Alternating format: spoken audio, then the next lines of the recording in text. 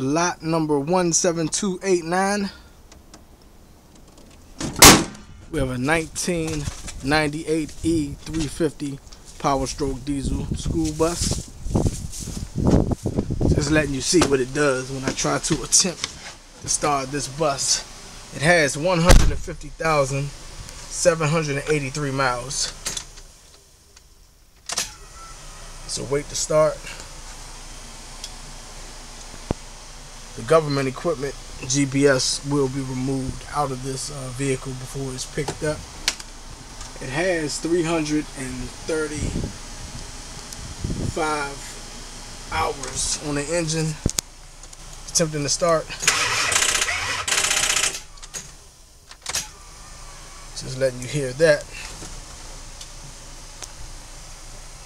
I did try to put the um, jump box on, but uh, it seems like our jump box is uh, getting low. Okay, attempting to start the bus again. Yeah, it was doing a little more at first, but it's not turning over. True mechanical conditions are unknown.